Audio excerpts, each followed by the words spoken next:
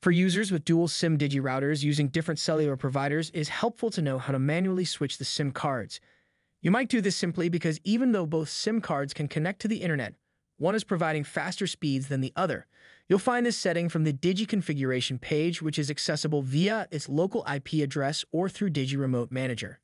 From the local web admin page, click on System at the top and select Device Configuration.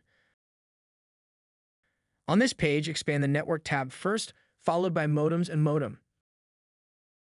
Refer to the active SIM slot field and set the SIM you want to connect to. Click Apply to save the setting. The page should refresh and you'll see a notice at the top right indicating that the configuration has been saved. At this time, we'll go back to the dashboard page and monitor the status of the SIM connection. Here we can see it changing firmware, and while we're waiting on that, we can also check at the status tab under modems. As it's shown here, the modem has already connected to the SIM in slot 2, so I'll go back to the dashboard, and we can see that the modem shows it is connected there too. That's all it takes to switch SIM cards manually on your DigiRouter. We hope you enjoyed this video and welcome you to subscribe to our channel for more videos like this. Thank you for watching.